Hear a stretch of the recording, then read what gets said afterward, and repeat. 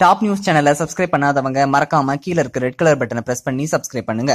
மேலும் செய்திகளை உடனுக்குடன் அறிய பக்கத்தில் இருக்க பெல் பட்டனை பிரஸ் பண்ணுங்க.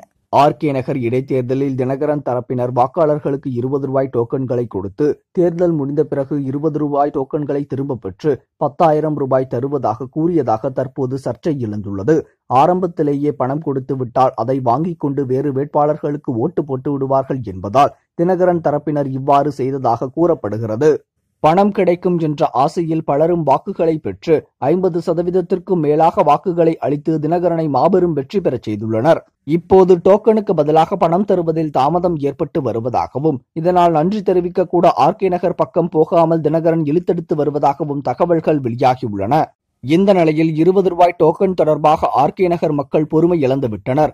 பத்தாயிரம் ரூபாய் தருவதாக கூறி இவர்கள் டோக்கன்களை சப்ளை செய்து வந்தது போலீஸ் விசாரணையில் அம்பலமாகி இருப்பதால் தினகரனுக்கு தற்போது சிக்கல் எழுந்துள்ளது. தினகரன் தேர்தல் செலவு கணக்கில் இந்த பணத்தை சேர்க்க தேர்தல் ஆணையம் திட்டமிட்டுள்ளது. இன்னும் ஒரு மாதத்திற்குள் தேர்தல் செலவு கணக்குகளை தினகரன் தேர்தல் ஆணையத்திடம் சமர்ப்பிக்க வேண்டும் என்றும் அப்போது வாக்காளர்களுக்கு கொடுத்த பண மதிப்பையும் தினகரன் தேர்தல் செலவு கணக்கில் சேர்த்தால் தினகரன் எம்எல்ஏ பதவி பறிபோக வாய்ப்பு இருப்பதாகவும் தேர்தல் ஆணைய வட்டாரங்கள் தெரிவிக்கின்றன. இந்த தகவல் உங்களுக்கு பிடிச்சிருந்தா லைக் பண்ணுங்க கமெண்ட் பண்ணுங்க. மறக்காம கீழ இருக்க ரெட் கலர் சப்ஸ்கிரைப் பட்டனை பிரஸ் பண்ணி டாப் நியூஸ் சேனலுக்கு சப்ஸ்கிரைப் பண்ணுங்க. நன்றி வணக்கம்.